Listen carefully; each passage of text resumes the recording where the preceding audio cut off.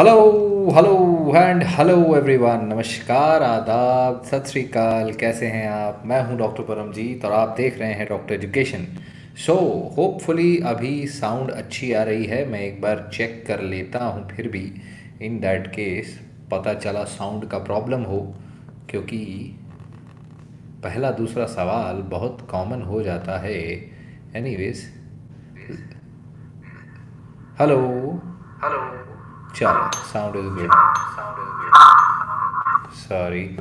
for that. So we have a good sound. Here we going to uh, talk about कि भाई आपका अगर वज़न कम है अगर आपको लगता है कि आप अंडरवेट हो सबसे पहले तो वज़न कैसे बढ़ाएँ और उसके ऊपर पूरा सेमिनार पूरा डिस्कशन उसके बाद क्वेश्चन आंसर्स और बीच में टेन सवाल आपके हम फटाफट रैपिड फायर ज़रूर लेंगे। सो so, पहली बात तो ये आती है कि क्या आप अंडरवेट हो? Right that is the most important question here underweight हो कि नहीं हो? और अंडरवेट हो तो कितने अंडरवेट हो? ये भी देखना बहुत ज़रूरी है। ओके okay, हमने इसको कर लिया है अभी सेंट्राइज्ड okay so the most important question here is the most important problem is क्या आप अंडरवेट हो? कई लोगों को ऐसा सिर्फ़ महसूस होता है खासकर माँ बाप को। और फिर माँ बाप बच्चों को बोल बोल के हाय तू खाना नहीं खाता है नॉल कर करके कि भाई तुम बहुत पतले हो तो तुमको मोटा होना पड़ेगा और मोटे होने के लिए फिर तुम जो मर्ज़ी खाओ पियो तुम मोटे होते ही नहीं हो। So what is the what is this thing कि आप क्यों मोटे नहीं होते? क्या हो रहा है ये? सो अल्टीमेटली uh, एक बी एम आई कैलकुलेशंस होता है, वो आप कहीं भी ऑनलाइन इजीली कैलकुलेट कर सकते हो। अगर आपका बी एम आई अट्ठारह पॉइंट फाइव से कम है then you are underweight that is most important thing और अगर आप अंडर वेट हो तो यहाँ बात हम ये नहीं कर रहे कि आप अंडरवेट क्यों हो, आपका वज़न क्यों कम है। वो एक अलग रीज़न होगा, वो अलग, एक अलग वीडियो होगा, जिसमें हम अलग से बताएँगे आपको कि yes there are there can be problems like hyperthyroidism thyroid की प्रॉब्लम हाइपर थायराइड हाइपोमेनी हाइपर थायराइड हो इन्फेक्शन हो किसी प्रकार की कोई भी बॉडी के अंदर क्रोनिक बीमारी हो मैल एब्जॉर्प्शन सिंड्रोम हो इंटेस्टाइन डाइजेशन प्रॉब्लम हो या फिर आ, से कोई बड़ी बीमारी हो जैसे क्रोनिक ट्यूबरकुलोसिस हो या आपको टाइफॉइड हो एचआईवी हो कैंसर हो ऐसी बीमारियों से वज़न कम हो जाता है। So that is one thing which obviously हमको रूल आउट करना पड़ता है कि ये बीमारियाँ तो नहीं हैं, वरना वज़न बढ़ाने का हेल्दी तरीका बहुत सिंपल है। उसका बेसिक सबसे बड़ा रूल है, जल्दी बहुत ईट मोर फ्रीक्वेंटली बेसिकली जल्दी जल्दी खाना खाओ। जब भी आपको भूख लगती है, थोड़ी भी भूख लगी, यानी कम से कम आपको छः बार, पाँच बार छः बार दिन में खाना खाना है मतलब हर चार से छः घंटे में खाना खाना है। That is most important thing आप एक बार, दो बार, तीन बार बड़ा बड़ा खाना खाने की जगह पाँच छः बार खाना खाओ, वज़न बढ़ाने के लिए भी ये मायने रखता है, घटाने के लिए भी यही रूल है एक्चुअली में but this is important second rule जो है कि जब भी आप खाना खाते हो लो कैलरी वाले फ़ूड को छोड़ दो। कोई भी लो कैलरी फ़ूड है लो फैट चीज़ है आ, कोई भी अगर रिफाइंड फ़ूड है कोई भी ऐसा लो कैलरी फ़ूड है जिसमें लो फैट डबल टोन दूध टोन दूध है फुल क्रीम वाला लो। फुल क्रीम वाला पनीर लो फुल क्रीम वाला बटर खाओ बिंदास घी खाओ। हाई कैलरी फ़ूड आपने कम खाना है ऑब्वियसली दिन में छः बार खाओगे तो एकदम पेट भर के खाओगे तो पूरे दिन भूख नहीं लगेगी। इसलिए कम कम खाइए eat small quantity but eat high calorie food good पौष्टिक खाना खाना है अच्छा पौष्टिक खाना न्यूट्रिएंट रिच फ़ूड चूज़ करना है आपको राइट? एक ओवरऑल हेल्दी डाइट तो चाहिए। लास्ट लास्ट ला, कल के सेशन में हमने आपको बैलेंस डाइट समझाया था कि आपको होल ग्रेन्स खानी है उसमें आप ब्रेड पास्ता सीरियल्स ये सब एक्चुअली खा सकते हो। फ्रूट्स खाने वेजिटेबल्स खाने डेयरी प्रोडक्ट्स खाना है लीन प्रोटीन खाना है नट्स खाने सीड्स खाने ये सब खाने और ये सब आप इसमें भी खा सकते हो। आपको चूज़ करना है हेल्दी चॉइसेस राइट आप स्मूदीज़ शेक्स बना के ले सकते हो बीच बीच में। अगर आप सोडाज लेते हो कॉफ़ी लेते हो, कोई अलग प्रकार की, इस तरह की कैफिनेटेड ड्रिंक्स लेते हो, चाय कॉफ़ी कोला सोडा उसको बंद करके इसकी जगह shakes milk shakes smoothies right apples fruit smoothies ये सब चीज़ें शुरू करो। उसमें आप देखोगे उसमें कैलोरीज ज़्यादा है सो उससे आपका वज़न ज़्यादा बढ़ेगा और ज़्यादा अब तो ठंड का मौसम है। ठंड के मौसम में इंस्टेड ऑफ़ लाई आइस टी लेमन टी इनकी जगह take shakes banana shake milk shake smoothies इन स्मूदीज़ से फिर आपका वज़न कम होगा। हर चार छः घंटे में कुछ ना कुछ खाना है। स्मूदी ले लो, थोड़ा सा मील ले लो, ये खा लो राइट और ये भी बहुत इंपॉर्टेंट है कि पानी पानी कब पीना है, वो भी बहुत ज़रूरी है। कई लोग ऐसा करते हैं कि बस खाना खाने से दस मिनट पहले पानी पी लिया। उसमें क्या हो जाता है कि अगर आपने पाँच मिनट पहले खाना, पानी पी लिया, फिर खाना खाने गए तो आपके उस समय पेट में ऑलरेडी पानी है।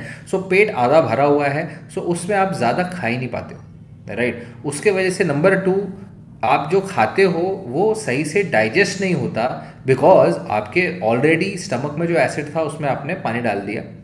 सो so, इसीलिए कोशिश करो आधे से एक घंटे का गैप हो खाना खाने से पानी पीने का। पानी पहले एक घंटा पहले आधे से एक घंटा पहले कम से कम पानी पीना है उसके बाद आप खाना खाएँ। और नंबर तीसरी सबसे ज़रूरी चीज़ है मतलब ये तो तीसरी होगी कि पानी पीना है।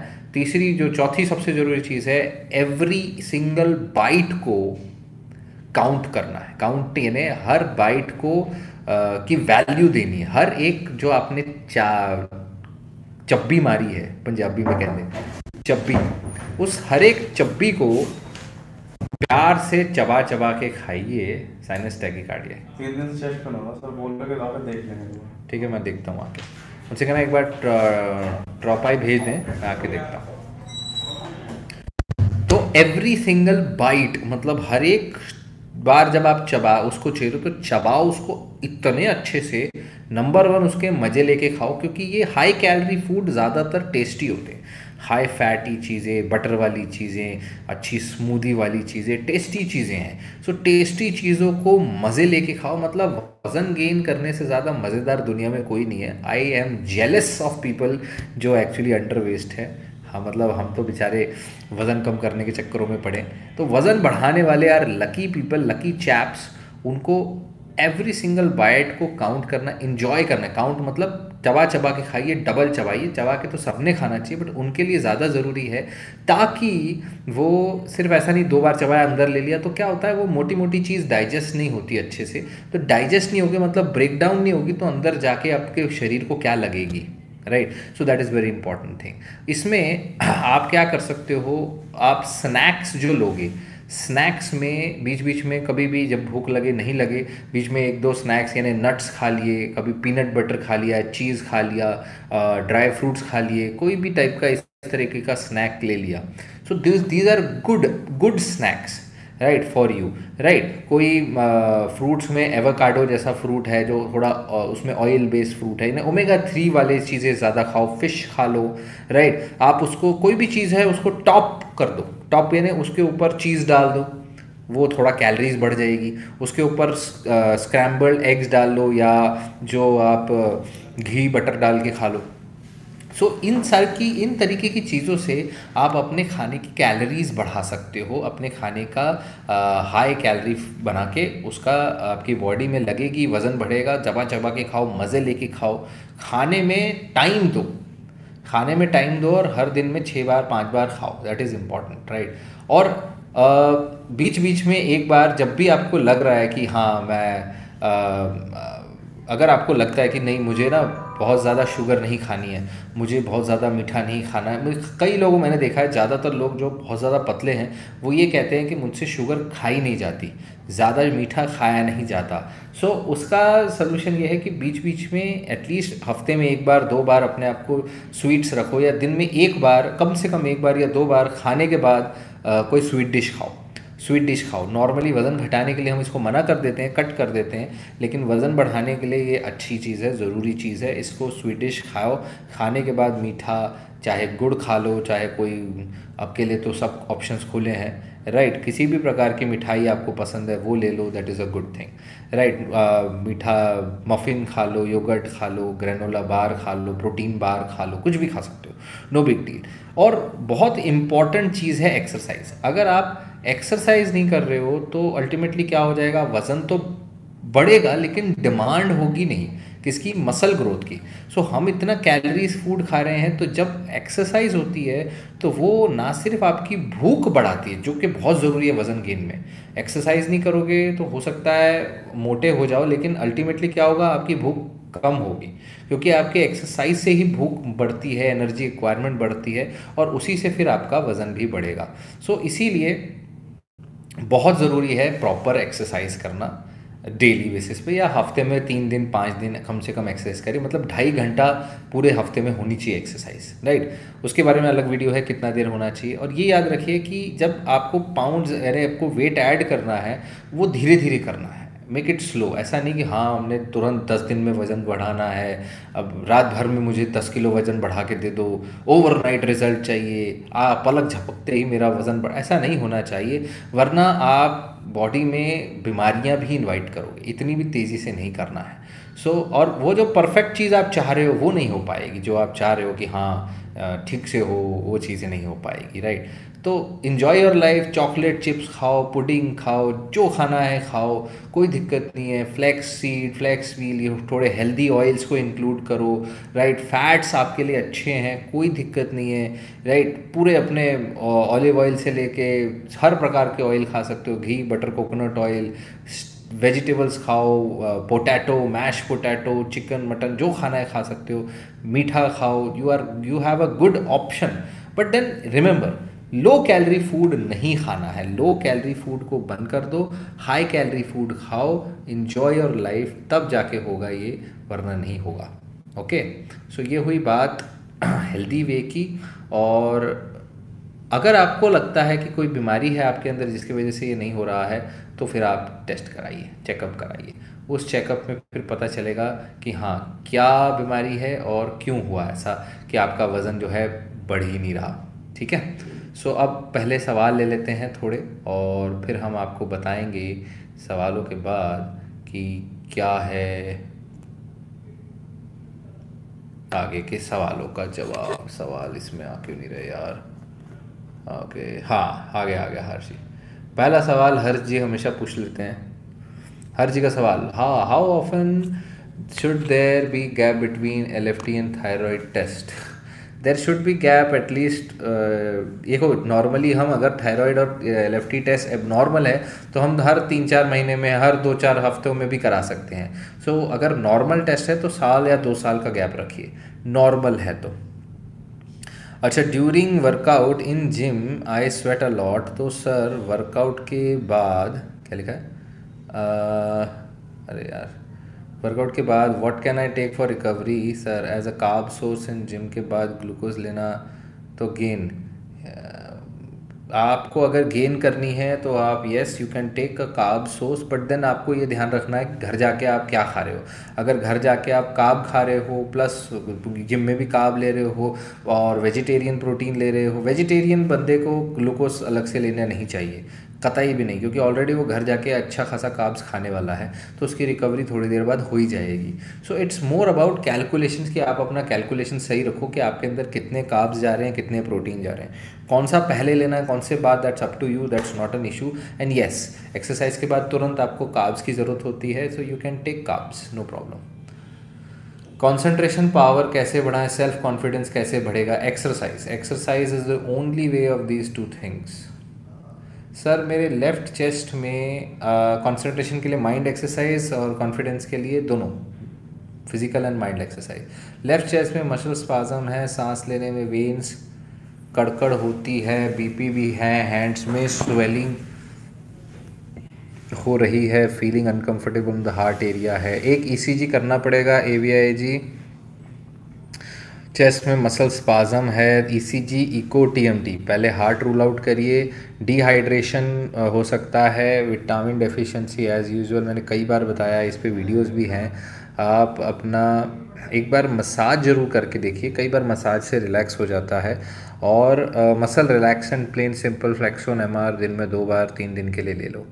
टेस्टोस्टेरोन बूस्टर सप्लीमेंट कभी मत लेना। पैसे बर्बाद है और कुछ नहीं। सिक्स पैक्स कैसे बनाएँगे, उसके लिए कैसे फिटनेस एंड न्यूट्रिशन वाला हमारा चैनल देखिए।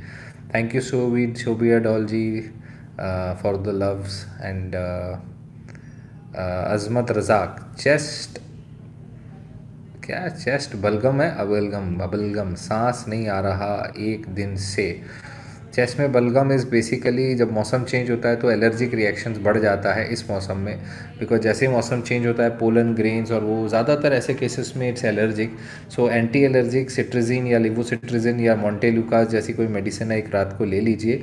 और अगर ज़्यादा हो रहा है तो एक बार एग्जामिन करना पड़ेगा नाक और गले को और चेस्ट में सेटोस्कोप लगा के सुनना होगा। स्पाजम तो नहीं है, उसके हिसाब से मेडिकेशन देनी होगी। नेबुलाइज़र और स्टीम से आपको आराम मिल जाना चाहिए।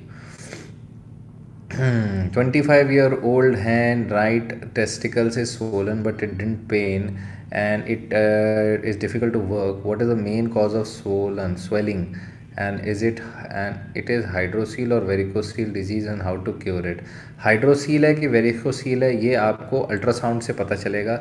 ये बाहर से देख के ज़्यादातर नहीं पता चलता। लेकिन अगर पूरा uh, स्क्रोटम सूझा हुआ है तो वो हाइड्रोसील होता है और अगर टेस्टिस सूजा है तो टेस्टिस के ऊपर सूजी हुई चीज़ है तो वेरिकोसील हो सकता है। आइडिया ज़रूर मिल जाता है, लेकिन एग्जैक्ट डायग्नोसिस आपको अल्ट्रासाउंड से मिलेगा। तो यूएसजी अल्ट्रासाउंड आप स्क्रोटम का करा लीजिए। ओके सर प्रोटीन वाली वीडियो में doubt okay twenty four twenty four क्या है ये?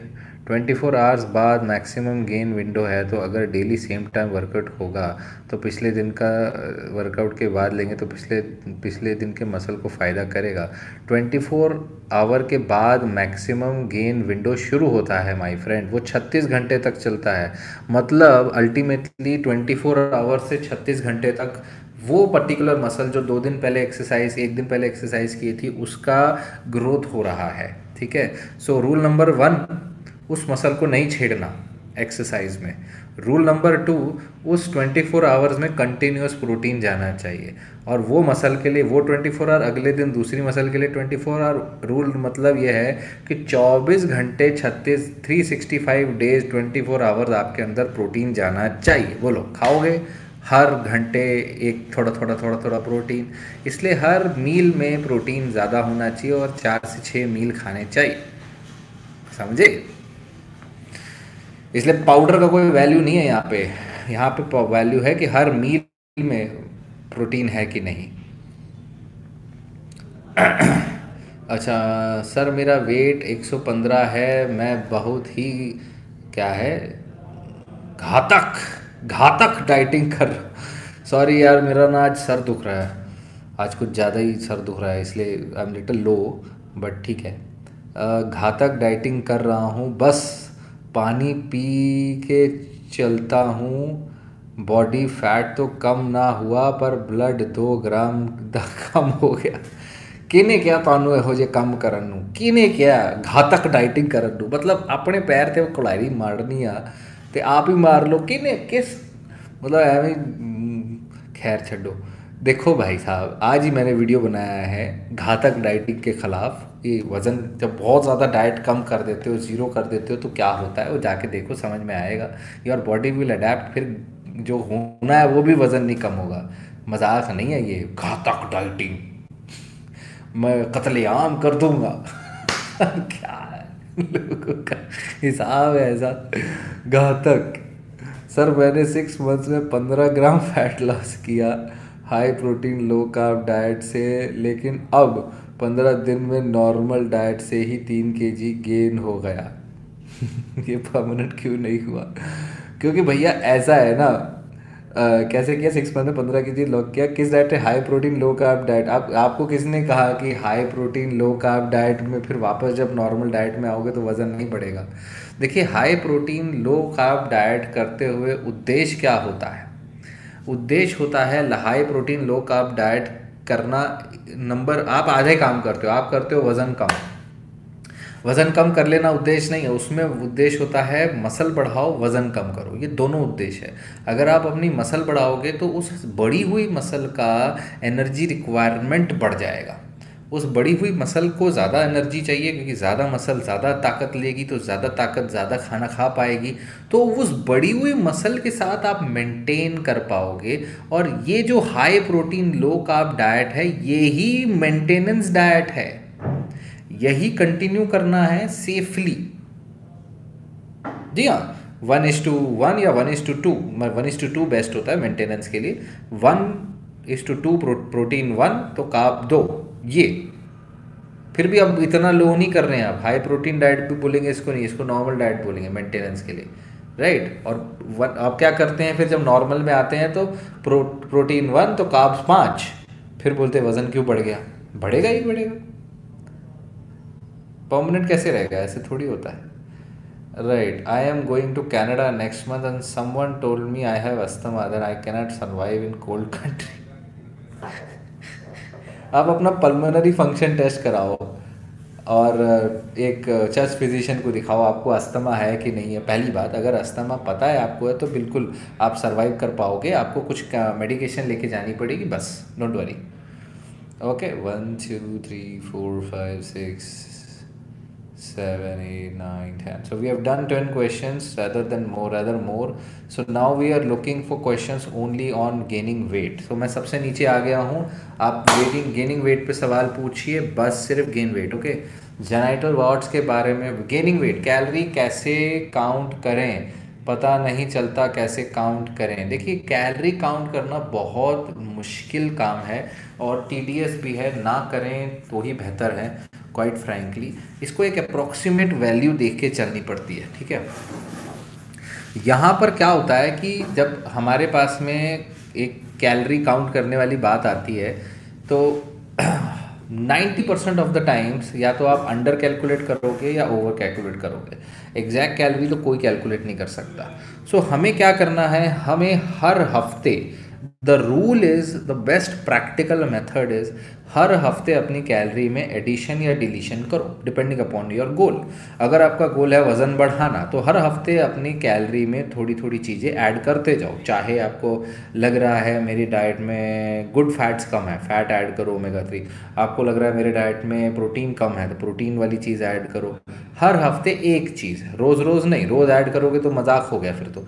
हर हफ़्ते या हर दो हफ़्ते में एक चीज़ ऐड करो सेम चीज़ हर हफ़्ते या दो हफ़्ते में एक चीज़ माइनस करो अगर आपको लग रहा है कि वज़न मेरा कम नहीं हो रहा। इस तरह से आपको प्रैक्टिकली वेट लॉस करना पड़ता है ना कि instead of doing your work आप किताब और पेन और इंटरनेट लेके बैठे हैं कैलरी काउंट करने के लिए।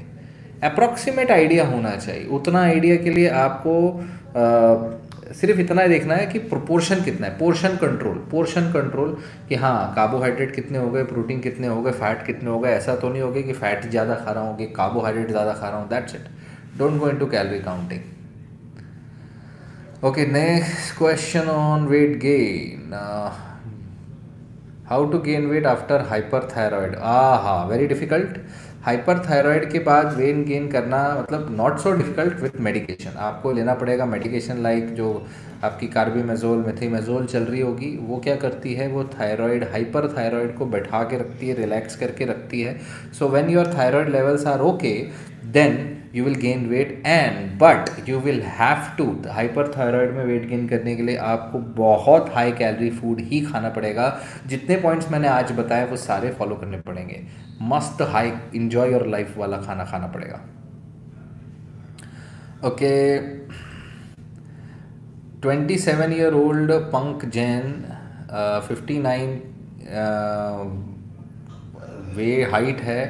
फिफ्टी नाइन अच्छा सॉरी वेट फिफ्टी नाइन है height five point eight and ideal weight for me in how can I achieve it आपको अंडर वेट है भाई साहब। आपका वेट आइडियल होना चाहिए eight, seventy eight.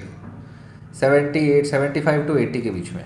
So it's never never like exactly seventy eight point zero zero eight आपका ideal weight है। उतना पहुँचोगे मतलब उतना कहाँ से पहुँचोगे? It's a very average thing you should be seventy five approximate so you will be good at seventy five. Right मतलब muscularity आपकी चाहिए उतनी।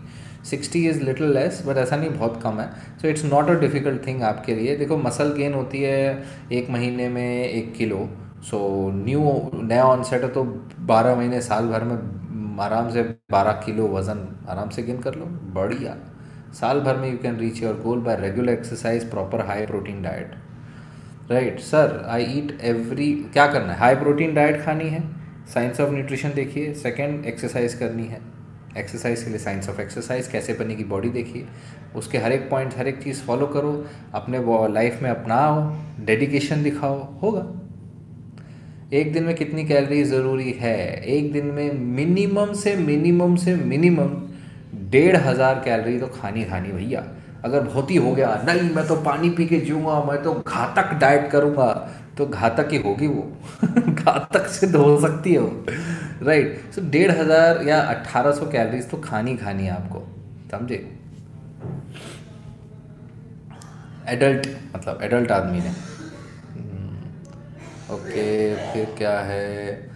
Weight gain age thirty five male weight अगर वेट लॉस करना है, अगर वेट गेन करना है सॉरी मैं कैलोरीज का बता देता हूँ पहले।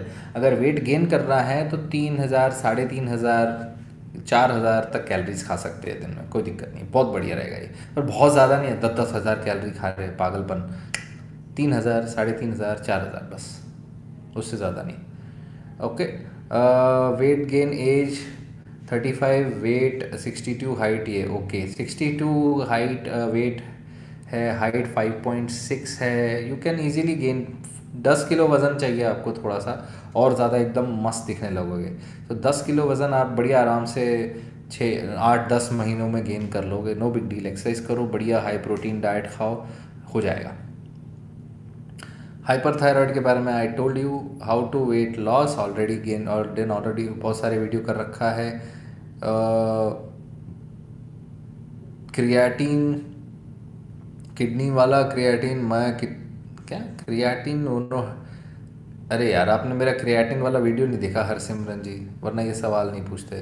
क्रिएटिनिन क्रिएटिन का बाई प्रोडक्ट है। जब क्रिएटिन टूटता है तो उसका एक परसेंट पॉइंट वो बनता है। वो जाके देखो मेरा क्रिएटिन वाला वीडियो हाँ जी बोलो।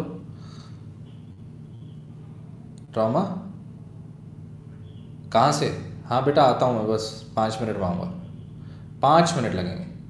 पता मुझे वो इसीलिए देख ली थी मैंने, पाँच मिनट में आ रहा हूँ। पाँच मिनट आता हूँ।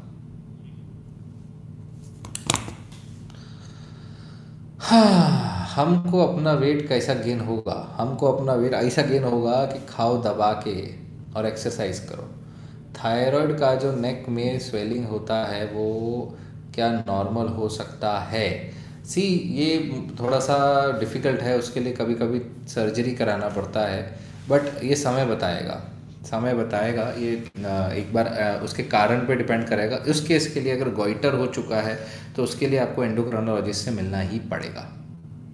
शुगर वाले को गेन वेट गेन कैसे करेगा? शुगर वाले अगर डायबिटिक टाइप वन है तो वो दैट वो लोग ज़्यादातर वेट गेन करने में मुश्किल होती है, क्योंकि उनके अंदर इंसुलिन ही कम होता है। तो उनके लिए भी शुगर वालों को अगर वेट गेन करना है तो उनको भी हाई कैलोरी फ़ूड खाने होंगे। लेकिन आ, ये जो मैंने तरीके बताए ये सेफ़ तरीके हैं। इसीलिए मैंने ऊपर जो तरीके बताए हैं सारे सेफ़ है। सेफ़ का मतलब ये है कि आपको शुगर है आपको थायराइड है आपको जो भी आपका वज़न कम कम है वज़न बढ़ाना है हो जाएगा। इससे होगा है ना? ये नहीं कि एक मैंने बल्किंग वाला भी बताया था कि मीठा खाओ ये खाओ इसमें नहीं इसमें आप कर सकते हो। एक्सेप्ट मीठा बाकी चीज़ें ऊपर करो आप। Why power lifters take more than one thousand calories day because वो बिकॉज़ वो क्या करते हैं आज भी उनको उतने सारी कैलरी एक्सपेंडिचर करवाया जाता है। उनको बोला जाता है आप हज़ार राउंड ये मारोगे हज़ार ये करोगे सौ ये करोगे डेढ़ सौ ये करोगे। मेरे पास भी आया था एक पर्सन जो इतनी एक्सरसाइज कर रहा था कि मैं आ, सुना मैंने कहा यार ये क्या है? इतनी एक्सरसाइज करोगे नंबर वन ओवर एक्सरसाइज ना मसल गेन हो रही है। नंबर टू इतने कैलोरीज बर्न कर रहे हो कि जितना मर्ज़ी खा लो कुछ नहीं होने वाला। सो so, ये भी बैलेंस तो आपको रखना पड़ेगा ना। इसलिए पावर लिफ्टर्स इतना ज़्यादा खाते हैं इतना ज़्यादा खाते हैं कि उनकी बॉडी लेकिन बात समझो ना आप इतना ज़्यादा खा रहे हो इतना ज़्यादा यूज़ कर रहे हो ये डायरेक्ट डायरेक्ट यूज़ नहीं है कि पैसे आए और पैसे खर्चे कर दिए तो बीच में कुछ नहीं रखा। नहीं यहाँ पर क्या हो रहा है पैसे कन्वर्ट हो रहे हैं। यहाँ पे आपका खाना कन्वर्ट हो रहा है मेटाबोलाइज हो रहा है या मेहनत हो रही है, यहाँ पे मशक्क़त हो रही है लिवर की किडनी की मेटाबोलाइजेशन में। तो वहाँ पर लिवर किडनी पे ज़ोर पड़ रहा है हैवीएस्ट ज़ोर पड़ रहा है। तो अति भी नहीं करना पड़ता। अति भी नहीं करना पड़ता। हज़ार कैलरी पर डे बहुत ज़्यादा। चार सौ, चार हज़ार calories is very high already right depending upon आपका वर्कआउट कितना है यार। वर्कआउट पावर लिफ्टर्स है। पावर लिफ्टर्स को एंड्योरेंस वर्कआउट करने का वो मतलब ही नहीं है। पावर लिफ्टर्स को एंड्योरेंस वर्कआउट का क्या मतलब हुआ? मतलब कार्डियो करो, थोड़ा बहुत करो, बहुत इतना नहीं कि इतनी हज़ार कैलोरीज की ज़रूरत पड़े।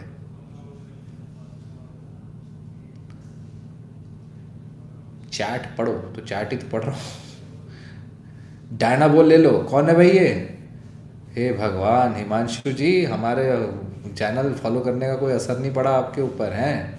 डायना बोल, बांट रहे हो।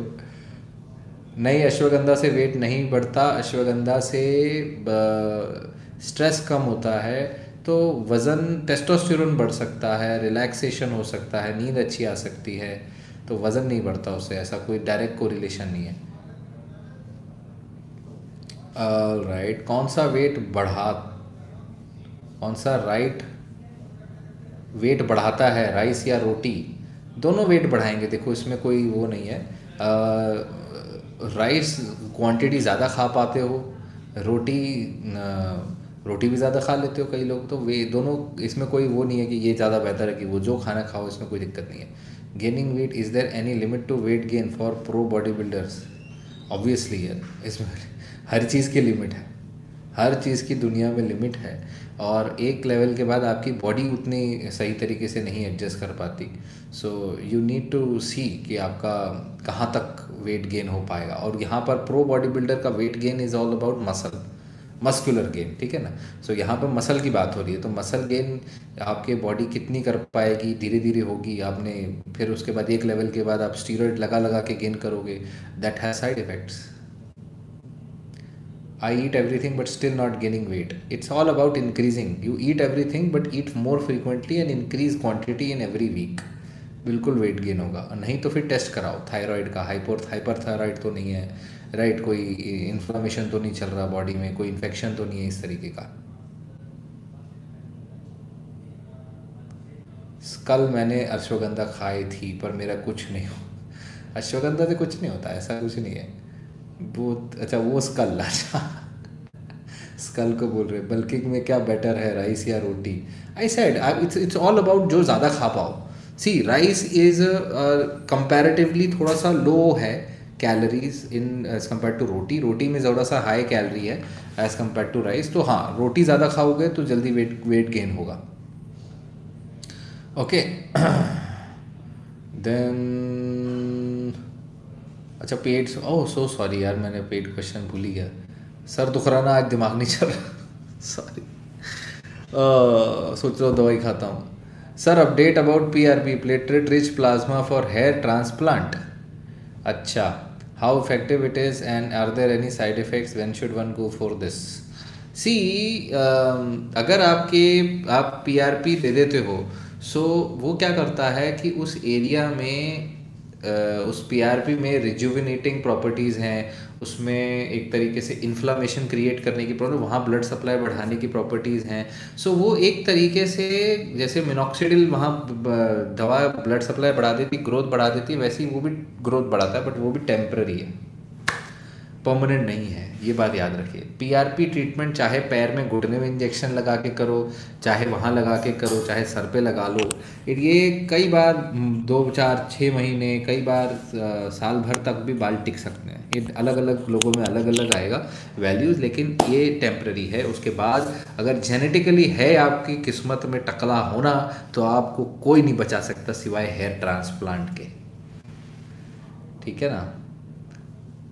ऐसा नहीं ऐसे कि हर साल पीआरपी करा लूँगा तो हो जाएगा। एक लेवल के बाद इट विल बी देयर तो एक ही था हमारे पास, ये वाला चैट थर्टी थ्री मिनट्स हो गए। सॉरी दोस्तों, पता नहीं क्यों सर दुख रहा है। कभी कभी हो जाता है। आज एक्चुअली लंच बहुत लेट हुआ। कई बार का खाना, काम इतना पड़ जाता है कि पूछो मत। सो कई बार सर दुख जाते हैं। So everybody feels everything don't worry थोड़ा रेस्ट करेंगे, बढ़िया ठीक हो जाएँगे। वीडियो डालते रहेंगे, आप लोगों के साथ मिलते रहेंगे और आप लोगों का प्यार चलता रहता है इसलिए कैसी भी हालत हो लाइव ज़रूर आते हैं।